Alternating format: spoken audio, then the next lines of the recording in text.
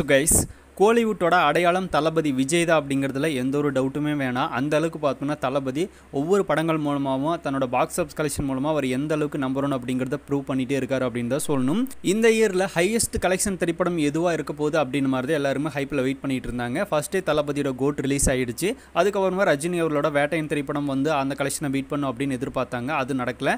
அதுக்கப்புறமா வேட்டையன் திரைப்படத்தையும் தாண்டி அதிக அளவில் எதிர்பார்த்துட்டு இருந்த ஒரு திரைப்படம் அப்படின்னா கங்குவா திரைப்படம் தான் மிகப்பெரிய பட்ஜெட்டோடு எடுத்திருக்காங்க. ஸோ இந்த படம் ரிலீஸ் ஆச்சு அப்படின்னா கண்டிப்பாக ஆயிரம் கோடி அப்படிங்கிறதெல்லாம் டார்கெட் பண்ணிட்டு இருந்தாங்க. ஸோ அப்படி இருக்கும்போது அந்த படம் ரிலீஸ் ஆனால் கோட் படத்தோட கலெக்ஷனை பீட் பண்ணிடும் அப்படின்ற மாதிரி எல்லாரும் எதிர்பார்த்தாங்க. அதுவும் நடக்கலை. ஸோ இப்போ இந்த இயரில் நம்பர் ஒன் கிங் தளபதி தான் அப்படிங்கிறது கன்ஃபார்ம் ஆயிடுச்சு. இப்போ எக்ஸாம்பிளுக்கு பார்த்தோம்னா கங்குவா திரைப்படத்தோட வேர்ல்டு வைட் கலெக்ஷன் பற்றி அனௌன்ஸ் பண்ணியிருக்காங்க. ஸோ த்ரீ டேஸில் பார்த்தோம்னா ஒன் டுவெண்ட்டி செவன் க்ரோஸ் பார்த்தோம்னா கலெக்ஷன் பண்ணியிருக்கு. மூணு நாளில் நூற்றி இருபத்தி ஏழு கோடி அப்படிங்கிறத கலெக்ஷன் பண்ணியிருக்கு கங்குவா திரைப்படம். இது சூர்யா அவர்களுக்கு ஒரு மிகப்பெரிய பெஞ்ச் மார்க் தான். அவரோட படங்களே பார்த்தோன்னா ஒரு மிகப்பெரிய ரெக்கார்டு அப்படின்னா இதை நம்ம சொல்லலாம். பட் அப்படியே மற்ற ஹீரோஸ் கூட கம்பேர் பண்ணும்போது அதாவது நம்ம தளபதி கூட கம்பேர் பண்ணும்போது தளபதியோட ஒன் டே கலெக்ஷன் தான் இந்த கலெக்ஷன் ஸோ கோட் திரைப்படத்து மூலமாக ஒரு நாளே வந்து நூற்றி இருபத்தி ஆறு கோடி அப்படிங்கிறத எடுத்திருந்தாங்க. ஸோ இப்போ இவங்க மூணு நாள் கலெக்ஷன் தான் பார்த்தோம்னா நூற்றி இருபத்தேழு கோடிங்கிறது எடுத்திருக்காங்க. ஜஸ்ட் ஃபோர் டேஸ்லேயே பார்த்தோன்னா கோட் திரைப்படம் இரநூத்தி எண்பத்தி எட்டு கோடிங்கிறத கலெக்ஷன் பண்ணி இருந்துச்சு ஸோ இந்த அளவுக்கு பார்த்தோன்னா தளபதிக்குண்டான அந்த ஸ்டார்டம் அந்த மார்க்கெட் அப்படிங்கிறது வேறு லெவல் இருக்குது நாலு நாளில் இரநூத்தி எண்பத்தி எட்டு கோடி அப்படிங்கிறதெல்லாம் சாதாரணமான விஷயம் கிடையாது. அது வந்து தளபதி பார்த்தோன்னா கோட் திரைப்படத்து மூலமாக பண்ணியிருந்தாரு. இப்போ அந்த ரெக்கார்டை பீட் பண்ணவும் யாராலையும் முடியல. ஆல் ஓவராக வேர்ல்டு வைட் கலெக்ஷன் பார்த்தோன்னா கோட் திரைப்படத்துக்கு நானூற்றி ஐம்பத்தஞ்சு கோடி. இந்த கலெக்ஷனை பீட் பண்ணுறது கண்டிப்பாக எந்த படத்தாலையும் முடியாது. ஸோ இந்த வருஷம் தமிழ் சினிமாவில் நம்பர் ஒன் தளபதி தான் அப்படிங்கிறதுல எந்த ஒரு டவுட்டுமே வேணாம்.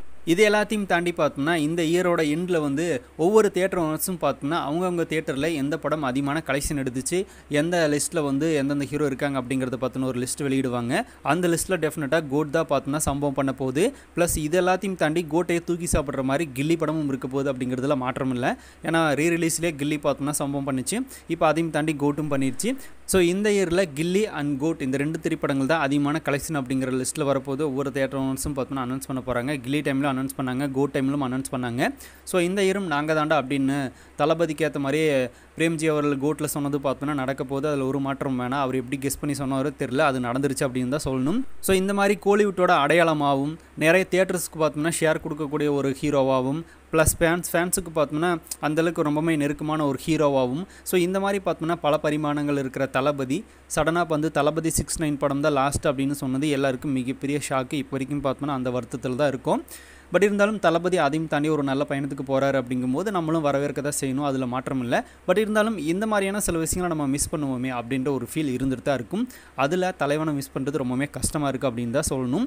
ஸோ தளபதி நெக்ஸ்ட் எலெக்ஷனில் பார்த்தோம்னா சிஎம் ஆனாலும் ஆகலை அப்படின்னாலும் கண்டிப்பாக சினிமாவில் வந்து ஜஸ்ட் ஒன் இயருக்கு ஒரு படமாவது இல்லை ரெண்டு வருஷத்துக்கு ஒரு படமாவது நடித்தா கூட போகுது அப்படின்னு நினைக்கிறவங்க நிறைய பேர் இருக்காங்க. ஸோ அவங்களோட ரிக்வஸ்ட்டை ஏற்றுட்டு தளபதி பண்ணால் நல்லாயிருக்குன்னு யாரெல்லாம் எதிர்பார்க்குறீங்கன்னு சொல்லுங்கள் பட் எனக்கு தெரிஞ்சு தளபதியோட அந்த பயணம் அப்படிங்கிறது அரசியலில் தான் முழு கவனமாக இருக்கிறதுனால அதுக்கு வரக்கு வாய்ப்பு இல்லை. பட் இருந்தாலும் இன்கேஸ் அப்படி நடந்துச்சு அப்படின்னா ஒரு ஹாப்பி தானே. அதுதான் வேறு எதுவும் கிடையாது.